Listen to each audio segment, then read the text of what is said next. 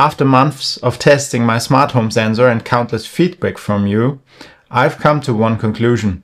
I have to start over. First of all, thank you very much for giving me valuable feedback and showing interest.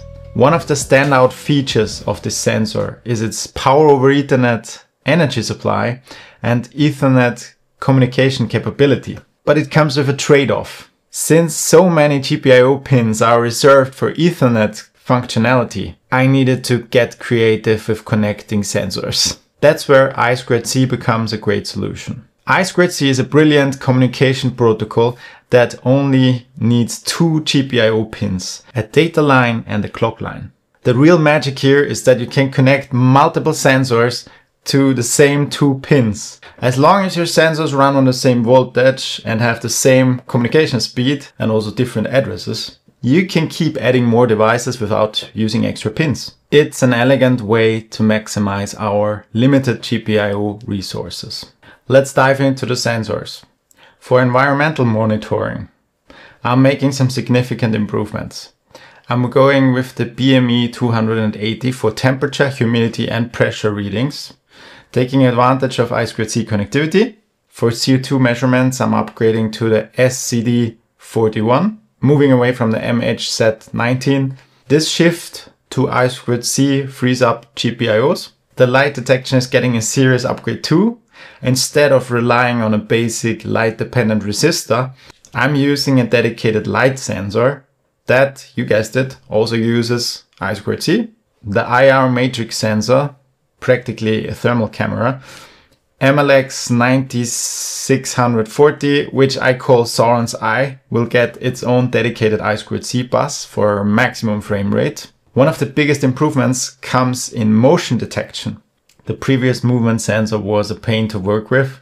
It triggered false alarms every day and it was a nightmare to mount properly. That's why I'm switching to this one, which I'm not going to pronounce, but it should give me much more reliable results. Some of you requested a millimeter wave sensor, so I will also add the interface required to connect one of these presence detectors to the board. Together with the motion detector, this makes a great combination. As requested, I will also add VOC sensing capabilities by offering the BME 680 as an alternative to the BME 280. I have to admit I had to Google it. VOC is an indicator for air quality. I will also add some addressable RGB LEDs. The infrared receiver will be changed to a different one because the one that I used was already at its end of life and also it's huge. And for the infrared transmitters, I will try to use a larger amount of smaller transmitters for better coverage. The infrared capabilities are one of my favorite features. We are already using it heavily to control our living room equipment. When it comes to the sound detector, I decided to keep things practical. While I looked into adding full microphone and speaker support, it would have been too demanding for the ESP32. Instead, I'm keeping the clap detector circuit but upgrading it with an X9C103S digital potentiometer for better ESP home compatibility. The piezo speaker also stays. While I can't officially market this as smoke detector due to regulatory issues, I'm adding a 12 volt output and a digital input. This allows integration with systems like the RM1000, which I personally use for smoke detector notifications. Just remember, it doesn't replace the need for an EN54 compliant smoke detector. Note that ESP32 supports BLE and Wi-Fi out of the box, because this was also a requested feature. Perhaps the biggest surprise from your feedback was how many of you wanted DC power alongside power over Ethernet, so I'm adding this flexibility too. Thankfully, only one of you expects an injection molded case, so I will focus on a 3D printed case for now. This also adds a lot of flexibility. If you are interested and haven't already, please sign up on my website and fill out the questionnaire. The new pin usage looks like this.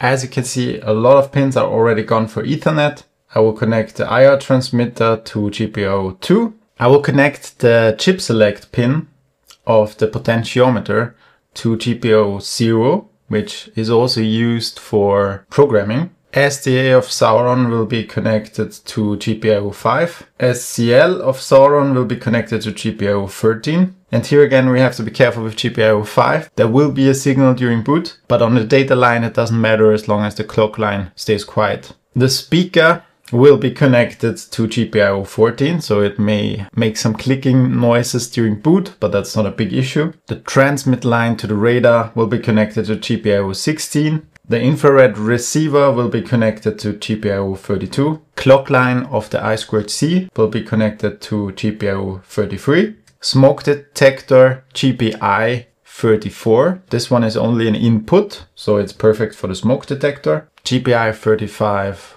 will be used for the movement detector, which is also only an input. The receive pin for the radar is GPI 36 and the clap sensor will be connected to GPI 39. The data line of the I2C bus will be connected to GPIO 15.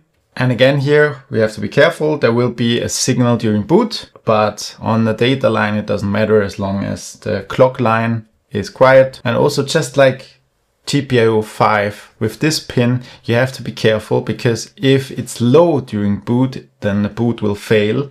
Now luckily I2C has pull-up resistors, so this is perfect for these pins. The addressable RGB LEDs will be connected to GPIO 4, they only require one pin. The potentiometer up and down will be connected to GPIO 1 and the potentiometer increment pin will be connected to GPIO 3. So we need to be aware that programming this chip through the serial connection will mess with the digital potentiometer values. But to be fair, I don't care. This thing will be programmed using the network. And even if we use the serial connection for programming, then it will mess with the potentiometer. So what?